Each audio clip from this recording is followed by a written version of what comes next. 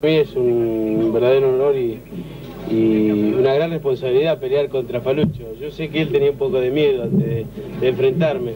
Yo di la categoría esta mañana muy, muy bien. categoría mía. no, pero eh, creo que es muy lindo, es muy lindo hacerle, como decía recién, homenaje en vida a la gente que realmente nos, hizo muy feliz a todos los argentinos. yo digo que que en todo mi país me siento, me siento feliz. Yo viví 10 años afuera donde eh, en España, en Italia y donde iba era el sudaca, era el argentino de mierda. Y es verdad, no me avergüenzo de decirlo. Por eso, cuando volví a mi país, le dije, le prometí a mi mujer que quería, quería recorrer todo mi país. Y bueno, lo hago y lo hago con total felicidad porque creo que que no somos argentinos de mierda y que somos argentinos que luchamos y, que nos merecemos un lugar en el mundo, nada. Sí, creo que, que Lanús es indudablemente el mejor equipo del campeonato hasta ahora. Se ha jugado poco, pero, pero también va a ser una gran medida para Lanús.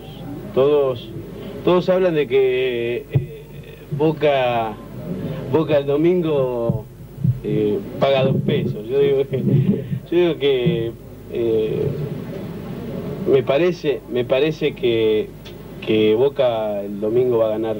Va a ganar demostrando que es más equipo que Lanús. Tengo en mente, tengo en mente que, el equipo va mejorando cada, cada partido y esto se puede decir mucho más adelante. Por ahora, por ahora creo que estamos para el cuarto quinto puesto, porque eh, no te sirve de nada estar en, en, los primeros puestos ahora cuando van cuatro fechas y después que te quedes sexto. No, no, falta mucho campeonato. Diego, ¿crees que estás llegando ya a un nivel eh, futbolístico que te permita que Daniel Pasarela te convoque por la selección? no.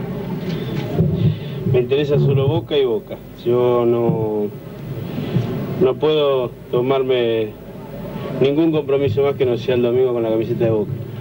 Pero no porque no lo, no lo quiera, sino porque no lo puedo hacer. Creo que a los 35 años tomar dos responsabilidades a la vez me parece que es mucho. Digo, quiero saber si, para la gente también se empeña en saber si las barras bravas son un mal necesario.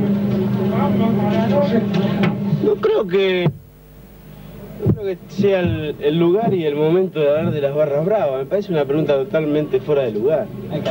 Pero creo que no hay, no, no hay barras bravas, no hay barras bravas que que sean pagadas por los jugadores. Esto, esto te lo aclaro acá y en cualquier lado.